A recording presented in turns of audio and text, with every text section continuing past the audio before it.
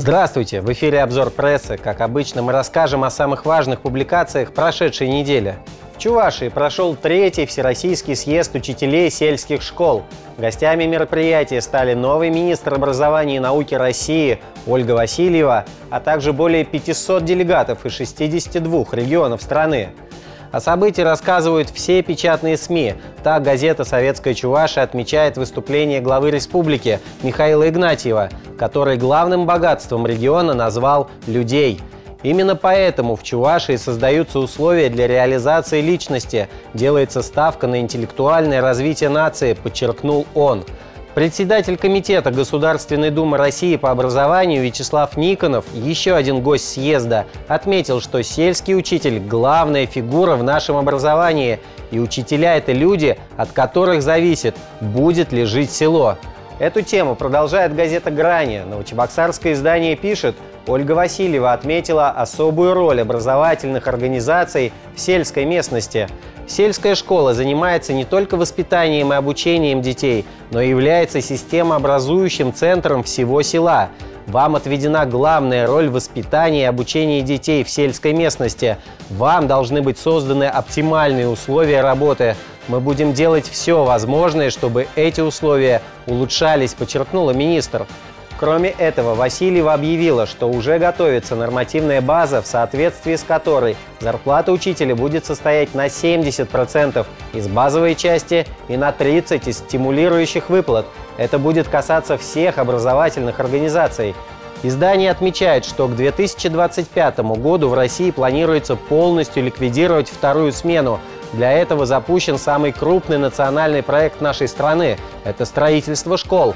Только в Чувашии за это время должны быть построены и реконструированы 32 образовательных учреждения. Газеты также сообщают о назначении нового министра образования и молодежной политики Чувашии.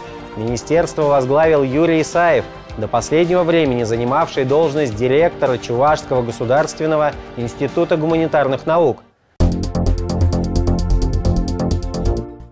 Как совершенствовать городскую среду, кардинально улучшить условия жизни в российских городах, повысить качество социальной и транспортной инфраструктуры, жилой и общественной застройки. Об этом говорили на Всероссийском совете местного самоуправления – Форум под названием «Городское развитие и совершенствование качества городской среды» прошел в Москве. Советская Чувашия пишет, значительный опыт накоплен в городах России по вопросам использования территорий, создания публичных зон, комфортных для жителей, благоустройства парковых зон, ландшафтного проектирования, экологии.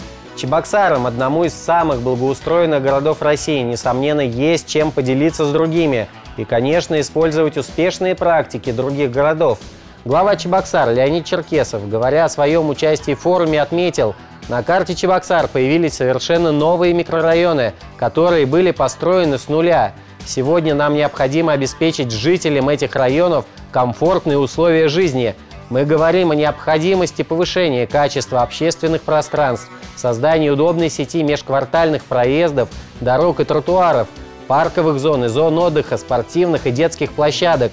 Конечно, в числе наших главнейших задач остается строительство детских образовательных учреждений, спортивных комплексов, учреждений здравоохранения. И это, уверен Черкесов, касается не только столицы региона. Комфортные условия жизни должны быть в каждом городе и районном центре Чувашии. В Новочебоксарске после капитального ремонта открылась подстанция скорой помощи, одна из крупнейших в республике. Газета МК Чебоксара рассказывает, что подстанция пережила полную модернизацию. Были отремонтированы внутренние помещения, фасад здания, кровля, закуплена новая мебель, обустроена площадка для стоянки служебных автомобилей. Министр здравоохранения Чуваши Алла Самойлова отметила, что в будущем планируется отремонтировать и старое здание подстанции – корпус по улице Коммунистической. Там развернется отделение сестринского ухода и паллиативной помощи. Бригады скорой работают по вызовам не только в своем городе, но и в Заволжье, Мариинско-Посадском районе, а также в поселке Новое Атлашево в Чебоксарском районе. Всего подстанция обслуживает более 165 тысяч человек. И главное политическое событие этой недели – единый день голосования – 18 сентября, в воскресенье, в Чувашии будем выбирать депутатов Государственной Думы и Государственного Совета.